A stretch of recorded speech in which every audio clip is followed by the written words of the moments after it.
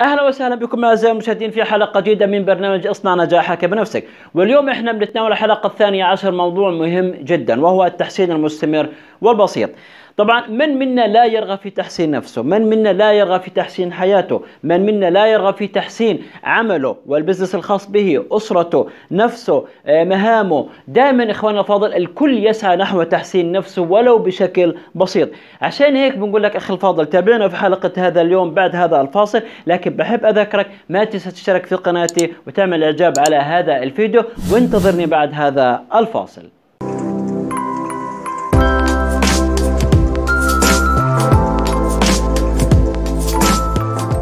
أهلا وسهلا بكم مجددا إخواني الافاضل وبحب أذكرك أخي فاضل إنه أنت تشترك في هذه القناة لأنه للأسف كثير يعني بيشاهدون ما بيشتركوا في هذه القناة.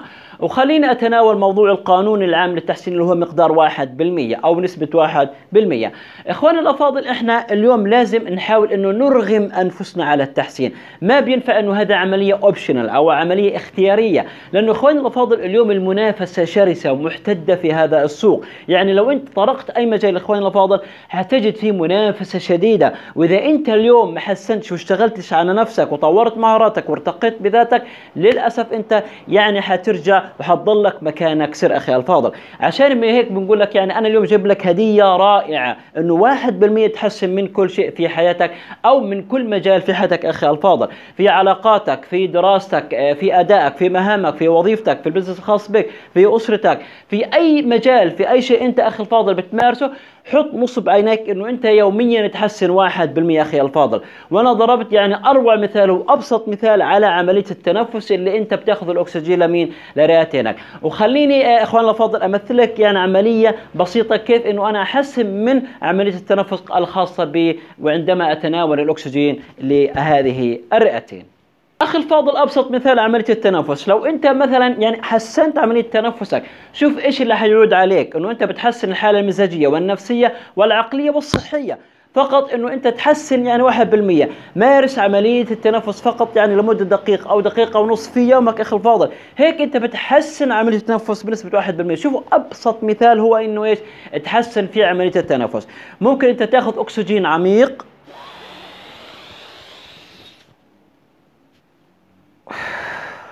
طبعا أنت لازم تحبس الأكسجين أخي الفاضل يعني مدة خلينا نقول نص دقيقة أو دقيقة على حسب يعني القدرة. وبعد هيك تطلع هذا السفير شوف أنت كيف حسنت في عملية التنفس حتحس رئتينك تحسنت حالتك المزاجية والنفسية تحسنت الحالة الصحية على المدى الزمني الطويل حتتحسن بإذن الله تعالى.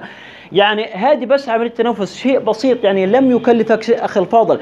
حاول إنه أنت تبدأ بعملية التحسين في الأنشطة اللي هي ما بتكلف شيء أخي الفاضل. يعني ممكن واحد يقول لي طب بدي اقرا لازم أشتري كتاب مثلا يعني ب 20 دولار أو ب 10 دولار. لا أخي الفاضل ابدأ اليوم بالاكتيفيتيز أو بالأنشطة بس اللي أنت يعني ما بتحتاج منك جهد كبير أو إنك تنفق مال من أجل التحسين. يعني ابدأ بها أخي الفاضل وحاول تحسن هذا الشيء يعني يوميا تدريجيا وبشكل مستمر. حتلاقي إنه آثار رائعة يعني بشكل كبير وتحسنت حياتك بالشكل العام. ولا خلينا نتناول معك معادلة التحسين المستمر أخي الفاضل. هنا يعني شوف حدد المجال أو الهدف أو التاسك أو الأداء أو أي شيء اللي أنت بدك تحسن فيه. بتحدده أخي الفاضل بتعمل على خطة بسيطة يعني ما تجيب ورقة وقلم لا يعني مثلا إنه ممكن آه، تقول أنا كيف بدي أنا مثلا أصحى مبكرا؟ خلينا أضبط المنبه مثلا يوميا على الساعة الخامسة فقط. أضبط المنبه على الساعة الخامسة صباحا فقط أخي الفاضل. آه، يعني أنت هيك حددت يعني هدفك أو الشيء اللي أنت بدك تحسن فيه أخي الفاضل. هيك أنا مثلا عملية أو تاسك إني أنا آه، اضبط المنبه أو اضبط المنبه على الساعة الخامسة صباحا. بعد هيك أخي الفاضل إنه أنت تلتزم إنه أنت تصحى على الخامسة صباحا. طب حتقول لي أنا ما صحيت على الخامسة صحيت على الستة. أوكي يعني حاول دائما خليك مش مشكلة. ستة ونص سبعة. يا أخي الفاضل يعني خلينا نقول لك خطوة خطوة التحسين بإذن الله تعالى. إذا قانون التحسين أحدد الشيء اللي أنا بدي أحسن فيه بعد ذلك حدد المجالات. أنت أخي الفاضل يعني مثلا في السنة أو في الشهر أو مثلا خلينا في ستة أشهر شو بدك تحسن؟ طريقة التفكير آه، مثلا آه، تحسين الحالة الصحية إني أحسن تنفسي أحسن الأداء أحسن مثلا البزنس أحسن أي شيء أخي الفاضل أنت حابب تحسن فيه. يعني ببساطة حدد المجالات حدد الأشياء اللي أنت بدك تحسن فيها واكتب عليها إنه 1% 1% 1% مثلا إني أنا أقرأ في اليوم بس خمس دقائق ابدأ بخمس دقائق إنه أنت هذه 1% تحسن فيها إنه أنت تقرأ يوميا أخي الفاضل. مثلا التزم من خمسة للخمسة ونص أو من خمسة للخمسة وربع إنه أنت تقرأ مثلا 1% فقط أخي الفاضل 1% ما تكثر يعني أكثر من ذلك. ابدأ ب 1% في العادات في اليومية في المجالات المختلفة في التاسكات في المجالات في البزنس في الشغل في الوظيفة وهكذا. بعد هيك إيش حيصير معنا؟ حيكون نتائج صغيرة. هذه النتائج الصغيرة أخي الفاضل لو أنت جمعت هذه النتائج اللي هي 1% حتلاقي معك في مين؟ تحسين ضخم وهائل. مثلا في نهاية الشهر في نهاية السنة حينتج عنه تحسين في الأداء يعني بشكل عام سواء ممكن الأداء المالي الأداء الوظيفي الاداء البزنس وهكذا. حتلاقي أنت شغلات رائعة تحقق ونتجت عن هذا التحسين البسيط اللي إحنا بدينا فيه 1% حتلاقي في الآخر أخي الفاضل في تأثير متراكم. أو نسميه تأثير الدومينوز؟ إنه أنت صار عندك أثر ونتيجة ضخمة هائلة من التحسين. هذه حتغير في حياتك أخي الفاضل. وبنصحك أخي الفاضل وأنصح نفسي أيضا إنه أنت ما تنتظر الوقت المناسب أو الحدث المناسب أو تتحسن الظروف الاقتصادية الظروف السياسية. أنت تتحسن يصير معك فلوس. لما تأخذ دبلومة لما تأخذ ماجستير لما تأخذ دكتوراه لما مثلا إنه أمور العمل تتحسن. لا أخي الفاضل ابدأ من حيث أنت الآن. ابدأ من موضعك أخي الفاضل. ابدأ يعني أنت شو أنت اليوم عليه. ابدأ من حيث أنت وابدأ حسن أخي الفاضل. صدقني بعد سنة وسنتين ثلاثة حتيجي تشكرني بعد مشاهدة هذا الفيديو. لكن أنا بحكي لك إعزم وتوكل على الله وابدأ الآن من حيث أنت أخي الفاضل.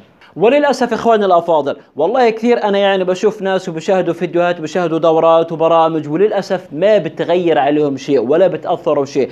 للأسف أنا بحكي لك أنت الآن شاهدت هذا الفيديو. حاول إنه أنت تغير أخي الفاضل يعني إنه تستفيد من هذا الفيديو ولو بمعلومة بسيطة بفكرة بسيطة. إن والله هتساهم بشكل كبير في تغيير في الحياة وفي مجرى حياتك أخي الفاضل. كثير والله أنا بشوف فيديوهات هذه أخذت منها أفكار والله يا أخي غيرت في مجرى حياتي بشكل كبير 180 درجة في بعض الأشياء في بعض العادات. يعني أنت ما تستهين بالفيديو أو بالفكرة أو بالمعلومة أو بالخطوة اللي أنت بتحصل عليها من فلان أو من علان أو من غيره أخي الفاضل.